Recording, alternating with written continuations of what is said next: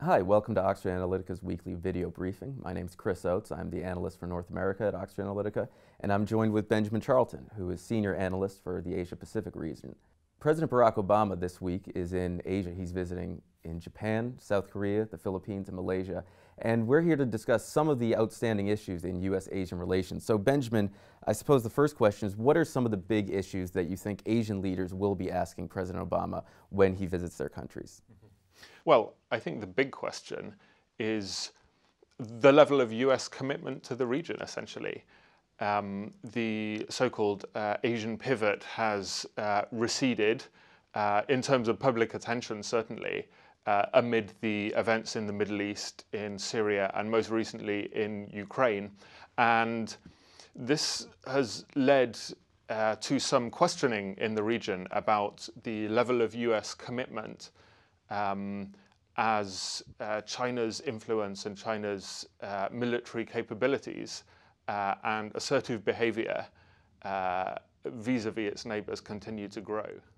Yeah, I think that's a, a, big topic, and I think it's understandable from their perspective that when you read in the, the newspapers that John Kerry, the Secretary of State, is in Israel, is in uh, Geneva talking about Iran, is in Geneva talking about Syria, is in Geneva talking about Ukraine, that there would be the perception that the uh, United States is less committed to Asia than it would have been uh, when in 2011 it, promote, it, promoted the idea of this pivot.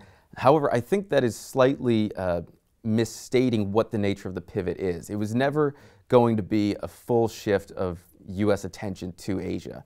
And it seems like it was a much more gradual and slow moving process reflecting the rising importance of that region in terms of share of global GDP, uh, in terms of the various security issues that are going on, and also in terms of the fact that the Middle East will be of almost inevitably less importance given that U.S. troops are no longer in Iraq and are, are drawing down quite rapidly from Afghanistan. So it was more of a reflection of the shifting importance of the various regions in the world from a, a, geopolitical and security point of view.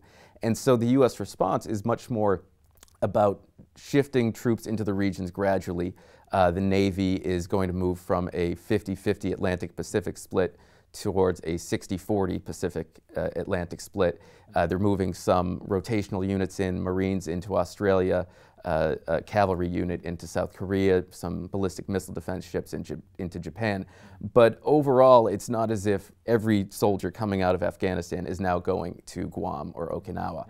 Um, so this sounds very much, uh, certainly this is how it's perceived in Beijing, as um, an attempt to contain China, um, first to, to um, deploy more military assets to the region. Um, it would clearly be uh, China that they have in mind mm. when they're doing that, and also diplomatically to uh, uh, tighten relations with US uh, allies and tighten relations between US allies uh, with an eye very much on China. Do you think this idea of containment is, is the right way to think about this?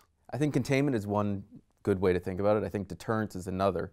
The United States would like to view itself as an offshore balancing power the Asia Pacific region does have China, emerging superpower, but it also has Japan, which is a major power. And although it doesn't have nuclear weapons, it certainly could acquire them very easily with its technological base.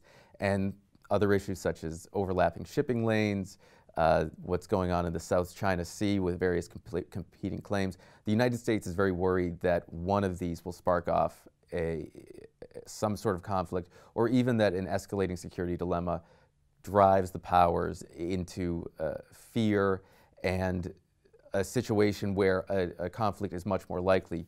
So it feels that it would rather have influence in the region and use that influence to prevent a breakout of tensions and to prevent the rise of China from being uh, a potential destabilizing force and a potentially destructive force for the rest of the world economy, which relies so much on the Asia Pacific region.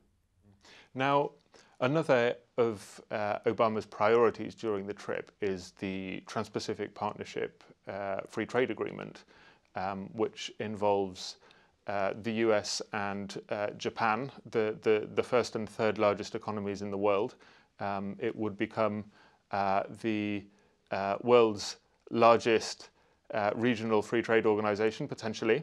And uh, this is sometimes seen in the context of this containment idea as a economic counterpart to the military and diplomatic pivot, uh, something which is designed deliberately um, to preclude Chinese membership, if not explicitly, then then implicitly by by, by setting conditions which um, it is known China will will not accept. Do you do you think this idea of economic containment is is um, an accurate one? I, I think in that area it's much different than the pivot. The pivot, security wise, you can certainly see why China is the main driving factor in rising U.S. concerns. In the economic sense, I I feel that the TPP is much more a, a sense of the best trade deal that the U.S. thought it could get. I think there are, given the amount of U.S. business in China, there would be great demand for a trade deal with China that allows greater uh, U.S. Uh, goods to that country. But that simply wasn't going to happen at this point. There are too many barriers, and one of the big issues in the TPP at the moment is uh, intellectual property rights and protection of intellectual property. It's possible that that can be accomplished in a trade deal with Japan, which has a high technology sector, and with some of the other countries which are relatively smaller and therefore uh, more amenable to uh, U.S. Uh, demands. Also, Australia is in the, the TPP uh, in various countries in Latin America who are, are uh, you would say, certainly much more amenable to intellectual property rights than China. Mm-hmm. So, although China has been excluded, and although it's certainly true that China wasn't going to ever meet those demands and those uh, those standards. I think that's an inevitable part of where the two economies are right now, rather than a deliberate goal and an economic component of this pivot to Asia. But Benjamin, what are some of the issues just in the broader security sphere of uh, U.S. and Asia? What are some of the security issues which are still outstanding, which could, notwithstanding the pivot, uh, caused some troubles in the region. Mm, mm. Well, getting the most attention, I think, of late are the uh, flashpoints in the East and South China Seas. Um, the most serious is uh, the dispute with Japan, um, between China and Japan over the uh, Diaoyu uh, or uh, Senkaku Islands, as they're known in Japan. Uh, these islands are uh, under the administration of Japan. They have been since the Second World War. Um, and they're claimed by China. And since 2012, um, the Chinese presence in the area has has increased dramatically. So we, we've we've seen the the, the Chinese uh, civilian security uh, forces ships um, in Japanese territorial waters on, on a routine uh, basis. We've seen uh, Chinese overflights of the airspace around the islands, and this, this, this kind of pressure has really uh, very conspicuously been, been stepped up. Um, the Japanese have responded um, with, with a stepped up presence of their own, with a shift of uh, Coast Guard and uh, Self Defense Force assets uh, towards the region. Um, uh, most recently last week with the launch of a project to construct a new uh, radar station on the nearest inhabited Japanese island to that area um, with a deployment of around 100, 150 uh, self-defense force uh, troops. Um, this gradual militarization of the issue, this, this, this um, increased presence and increased uh, movement of uh, military assets towards the area is a, a significant uh, risk. It, it, it, lowers the barriers to escalation. It increases the speed with which uh, the military can become involved and um, the, the, the scope for a crash, um, a clash uh, on the uh, ground to sort of spiral um, out of control.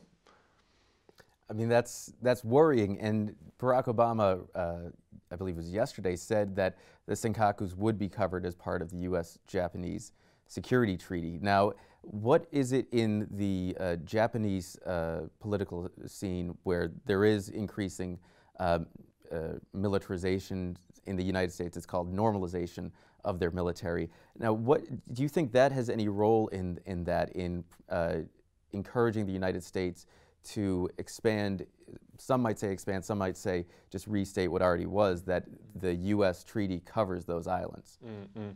Yes, I think so. Um, the US has um, a difficult balance to strike here. Um, on one hand, they need to show China that they're committed to the defense of their ally. On the other, they need to avoid emboldening Japan to the degree that it can feel that it feels it can um, it can provoke China. It can behave behave more uh, assertively uh, towards China vis-a-vis -vis these these disputes. Um, the US needs to, on one hand, uh, reassure the Japanese um, to preclude the need for them to pursue an independent uh, defense policy. Um, should Tokyo believe that it can't count on the US-Japan alliance, um, it's going to uh, develop its own military capacities um, a lot more quickly. This is going to alarm the Chinese. Um, much as the Chinese uh, distrust the United States, they, they distrust the Japanese even more uh, for historical reasons. Um, so on one hand, the US uh, pivot, uh, particularly the Japanese aspect, is, is aimed at China. On the other hand, it's also aimed at restraining the Japanese. So they're striking a pivot, uh, striking a balance while making a pivot, which is clearly a difficult thing. So thank you very much for watching this weekly briefing. For more information about this topic and, and many other topics about the global political economy, feel free to go to oxan.com and uh, hope you have a nice day.